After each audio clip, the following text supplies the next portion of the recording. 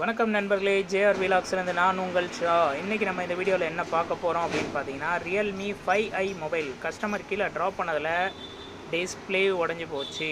So அதுக்கு new display எப்படி மாற்றலாங்கிறது தான் இந்த வீடியோவில் நம்ம பார்க்க போகிறோம் ஸோ அந்த டிஸ்பிளே பாருங்கள் ஃபுல்லாகவே டேமேஜ் ஆகி போச்சு. ஸோ வாங்க நியூ டிஸ்பிளே எப்படி மாற்றலாம் அப்படிங்கிறத நம்ம இந்த வீடியோவில் பார்ப்போம். அதுக்கு ஃபஸ்ட்டு நம்ம இந்த மொபைலோட பேக் டோரை ஓப்பன் பண்ணிக்கலாம்.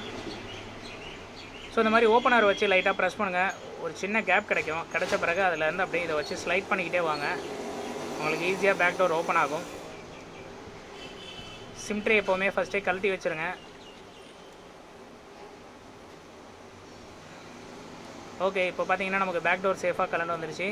ஸோ மதர் பே மதர் போர்டு மேலே இருக்க அந்த ஷீல்டை இப்போ வந்து நம்ம கழட்டி எடுத்துக்கலாம். அதுக்கு ஃபஸ்ட்டு நம்ம அதுக்கு மேலே இருக்க ஸ்க்ரூ எல்லாம் கழட்டணும். மொபைல் ஏற்கனவே ஏதோ சர்வீஸ்க்காக மொபைலை பிரிச்சுருக்காங்கன்னு நினைக்கிறேன். ஏன்னா ஸ்க்ரூவில் பார்த்தீங்கன்னா ஷீல்டு இல்லை. சீல் இல்லை கட்டாயிருக்கு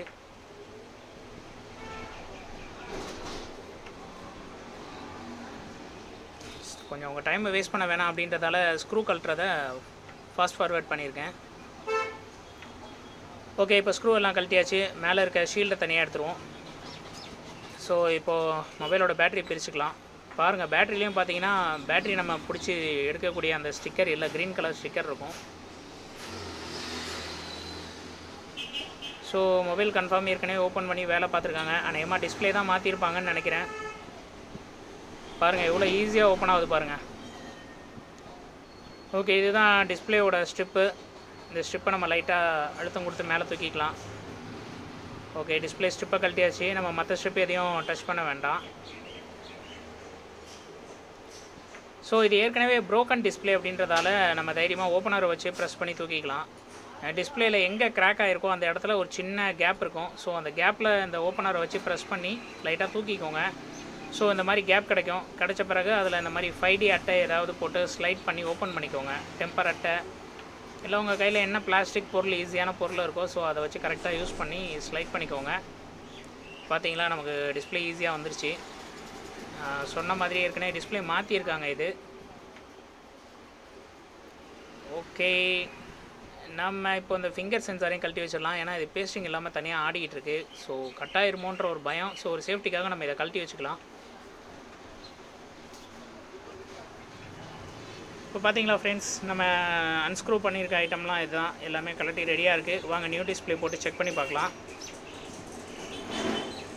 இது பேஸ்டிங் போட்டுட்டு நம்ம பார்ப்போம். டிஸ்பிளே பக்காவாக இருக்குது ஓகே ஃப்ரெண்ட்ஸ் இப்போது பார்த்தீங்கன்னா பேஸ்டிங் போட்டாச்சு.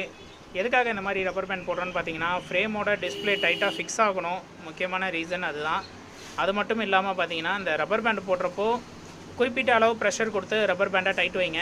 ஏன்னா ரொம்ப அதிகமான அளவுக்கு டைட் பண்ணிங்கன்னா இது டிஸ்பிளே டேமேஜ் ஆகிறதுக்கு வாய்ப்பு உண்டு. ஸோ அதனால் கொஞ்சம் கரெக்டான முறையில் பண்ணுங்கள்